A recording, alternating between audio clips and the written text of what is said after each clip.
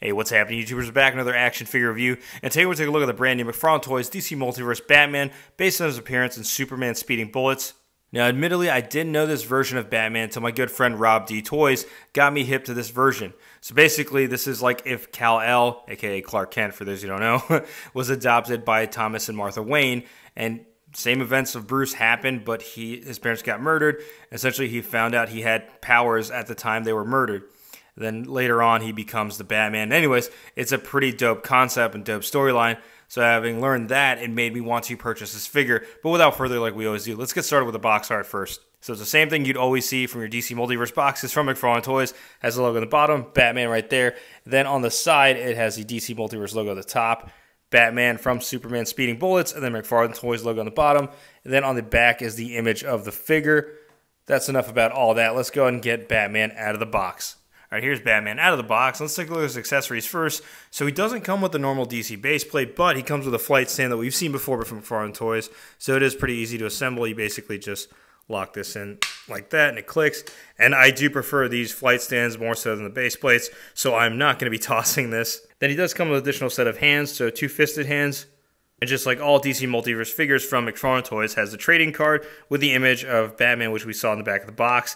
And then on the back is the data file. Feel free to pause it if you want to go ahead and read it. Now let's take a look at the figure itself, and we get started with the head sculpt first. And I gotta say right off the bat, I really like this head sculpt. Yeah, I know some of y'all might be thinking it's just Batman with his mouth being covered. But the reason why I like this is because you can see the attention to detail on his face right there. You can see his nose and his mouth and his chin going through. So you can definitely see his face through the mask, and I think they did a fantastic job sculpting it. So I wouldn't expect anything less from McFarlane Toys when it comes to the sculpt, since that's always the you know the general consensus, the sculpt. Now, when take a look at the rest of the figure, it's your basic Batman color palette. So you have the blue, the black, the yellow, and the emblem and stuff like that. But I do love the design of this. I especially like the cape, the sculpting of it. And I know I've mentioned it several times before, and y'all are going to get sick of hearing this. Now, let me know in the comments below if you are, because I'm still going to say it anyway, so F it. But I like the way that McFarlane Toys is able to sculpt the capes to a point where they, they look like soft goods. I'm not saying they are, but they look like they're soft goods. So I always got to give them credit where credit's due. In terms of the rest of the suit, you can see this pattern going down his arms right here. So there are some differences between this and a regular Batman outfit, but you see this that pattern going throughout the whole side right here, and it's consistent all the way through the boots. Now, another thing to mention, the ball joints and you know, I don't have to really mention it as much anymore because it's the standard now. But when you look closely here, they're the sculpted ball joints. So this one looks like it blends in with the glove. Now, when it comes to the boot and the ankle ball joints, obviously this has been a huge improvement, especially the last few reviews I've done. As you can see, it looks like it blends in with the boot, so it's one consistent piece. So again, I got to give credit where credit's due with McFarlane Toys. Another thing I wanted to call attention to is the emblem. It has kind of that Superman outline on it, but with the Batman logo in the middle. And I think this turned out really great. Right now we're going to take a look at articulation. So it's your standard 22 points of articulation or 22 moving parts, however you want to look at it. But the head can go from side to side and can look up about that much, which isn't bad. And then it can look down that much. Now it has those faux butterfly joints in there. Also has the shoulder swivel, double jointed elbows, which again, I'm not a fan of that cut, but it is what it is. Then, of course, the wrist ball joints, which have the hinge in them. And then here's the diaphragm cut. And this is one I really wanted to test out because at first when I took it out of the box, I noticed it could go. Now, I'm not including the hip joint, but it is a lot better than previous McFarlane Toys figures we've gotten before. Of course, with the ball joint at the hip, it does crunch even more. Now, going backwards, skydiving poses. and then also has the leg that can go out that much, so it can kick up pretty high and double jointed knees. And of course, ankle articulation with those ball joints and pivot. And then also the useless toe articulation.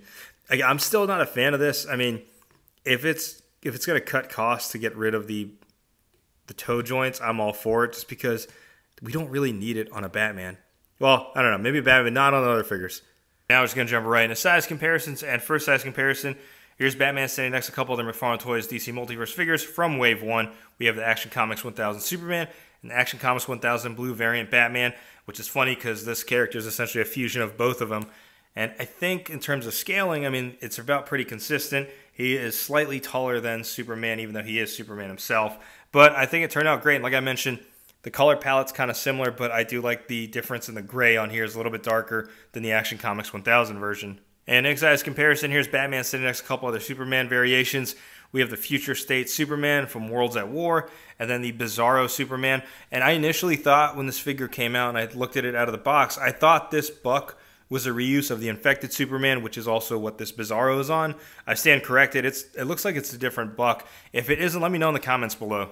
And last size comparison here is next to a couple other Batman figures. We have the Batman Three Jokers Batman, aka my favorite Batman in the collection so far, and then the Flashpoint Thomas Wayne Batman. The only thing is, this is my favorite Batman, but the the crappy thing is just he towers over other figures. Like he is taller than this Batman figure and taller than other characters, so the scaling is still off. But this thing would be perfect if he was scaled a little bit more appropriately and if the trunks were also black too. But still my favorite Batman nonetheless. This is actually a close second now. All right, some overall thoughts on the figure. This is a good figure. I really like it a lot. And for those of you out there that are complaining, oh my gosh, McFarlane Toys is giving us another Batman, maybe you should take The Rock's advice and know your damn role and shut your damn mouth. Well said, Rock. And the reason why I mentioned that as well is because this is another example that McFarlane Toys giving us a DC character that we've never gotten in figure form. And I'm glad I got hip to this, and I'm glad I got hip to the storyline. So shout outs again to my homie Rob D Toys. But yeah, let me know your thoughts and comments below, YouTubers. Are you going to be picking this figure up? And prior to this release, have you ever heard of Superman speeding bullets? Let me know in the comments below. And like always, if you like what you see, be sure to hit that like button. If you haven't already yet subscribed to the channel, go ahead and subscribe. Thanks for watching.